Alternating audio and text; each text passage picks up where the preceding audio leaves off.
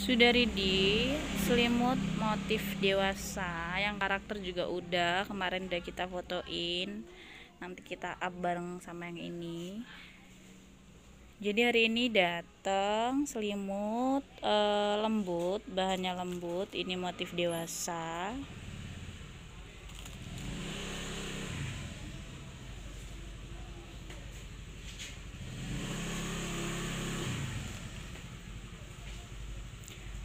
dan motifnya ini elegan banget.